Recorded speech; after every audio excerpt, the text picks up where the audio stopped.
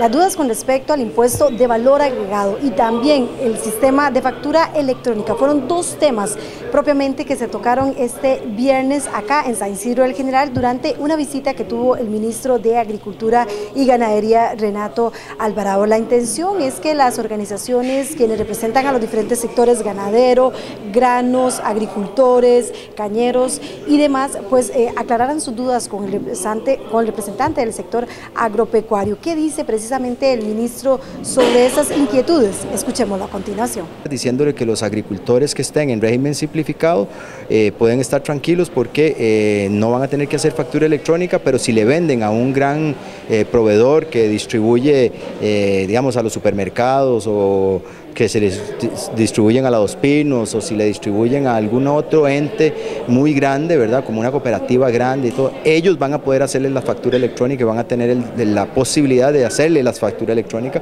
para poder resolver.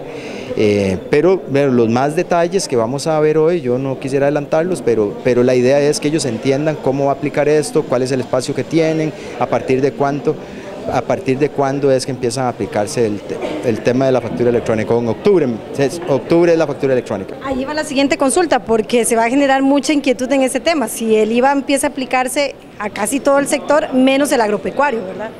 Sí, lo, por eso es lo importante que todos los agricultores se incorporen en esas listas para que podamos tener esos registros, ¿verdad? ¿Qué pasa si no está en esa lista? Tienen que pagar el 13%.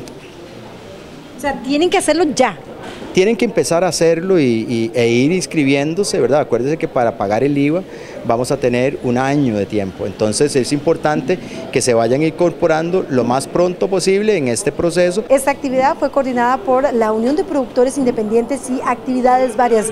Esto sobre esos temas tan relevantes que consideran para los productores. En primera instancia la Junta Directiva opera con él con varios temas, unos ocho temas que abordamos desde la organización, que tiene que ver mucho con el sector agropecuario, por supuesto y una segunda parte donde están invitadas las organizaciones para hablar específicamente y muy básico del IVA. Me parece que es fundamental en, la, coyuntura que estamos, en la implementación a partir del primero y todas las dudas que hay y toda la incertidumbre que hay a nivel de, de los productores. Y es que los productores además tienen muchísimas dudas con respecto a la implementación de la factura electrónica y también el IVA. ¿Qué dicen ellos? Hasta el momento eh, sí hay muchísimas dudas, ni los mismos funcionarios de Hacienda ni los mismos funcionarios de Hacienda tienen claro, porque esto lo han traído a golpe tambor. Eh, sabemos, tenemos cosas claras, en la parte ganadera el ganado no paga, está exento de impuesto, pero eh, ¿qué va a pasar con la factura electrónica si en realidad, bueno, hasta el momento se ha dicho que nosotros los ganaderos que solo tengamos la actividad y dependamos únicamente de la ganadería, no vamos a emitir factura electrónica.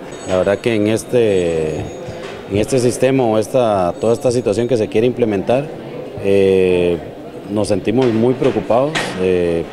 Hay muchas cosas que no sabemos en realidad cómo se van a poder solucionar, eh, comenzando por cosas que pensaría yo debieran de ser simples, pero que a estas alturas no lo van a hacer.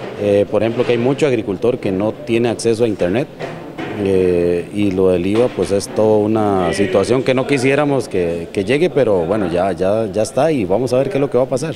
La intención es que este tipo de actividades pues se continúen desarrollando y que tengan más información a la mano de la implementación del impuesto de valor agregado, que como lo decía el ministro, podría implementarse en un año en el caso del sector agropecuario, mientras que en el caso de la factura electrónica empezará a implementarse en octubre próximo.